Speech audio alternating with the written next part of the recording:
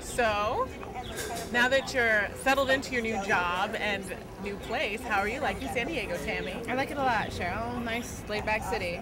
Aw, hell. There goes another one. Another what? See him?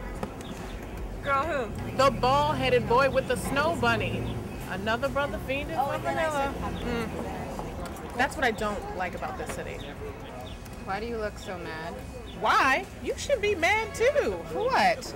That's his business. Well, I'm tired of it. Shoot, Derek is screwing these white bitches now. I can't believe my own brother's selling out like that. This is crazy. White women are stealing our men. Girl, quiet down. Don't you think you're being a bit melodramatic? You make it sound like it's some conspiracy or something. It's worse than a conspiracy. It's an epidemic.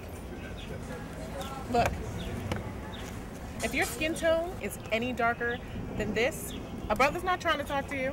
Girl, shut up. What about the men you've hooked up with since you got here?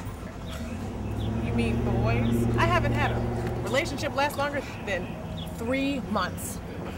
I actually saw one of my exes with a white girl. Come on, it can't be that bad. I bet before Tommy gets here, we'll see two more brothers walking with them. There's one. Aw, damn. Brother hooked up with a whale, didn't he? Girl, you wrong. So, don't you think it's time you got out of your little funk? You've been sulking since you got here. Stop exaggerating.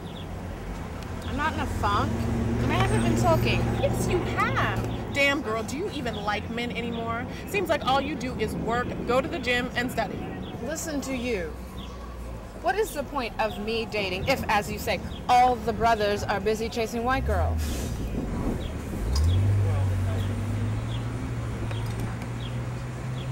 Hmm. If we can't beat the brothers, maybe we should be joining.